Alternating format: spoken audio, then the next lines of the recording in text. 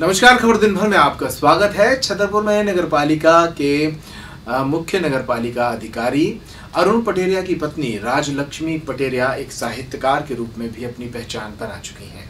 उनकी पत्नी राजलक्ष्मी पटेरिया की एक पुस्तक, उड़ान का विमोचन बीती शाम शहर के ऑडिटोरियम में किया गया। इस कार्यक्रम में महाराजा कॉलेज के पूर्व प्राचार्य बीपी पांडे, बतौर मुख्य अतिथि शामिल हुए। कार्यक्रम में विशिष्ट अतिथि के रूप में छतरपुर के विधायक आलोक चतुर्वेदी नगर पालिका के अध्यक्ष अर्चना सिंह, वरिष्ठ साहित्यकार सुरेंद्र शर्मा श्री श्री प्रकाश पटेरिया, अरुण पटेरिया सहित तमाम लोग मौजूद रहे।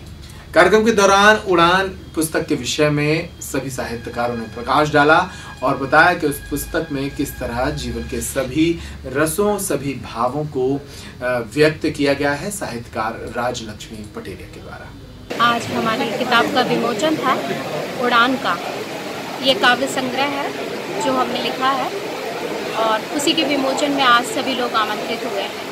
इसमें सभी प्रकार की श्रृंगार रस की, वीर रस की, सभी प्रकार के जितने भी रस हैं, सभी प्रकार की कविताएँ हैं इसमें। इस बुलेटिन में इतना ही। छतरपुर की तमाम खबरों के लिए आप इस चैनल को यूट्यूब पर सब्सक्राइब और फेसबुक पर लाइक कर सकते हैं। नमस्कार।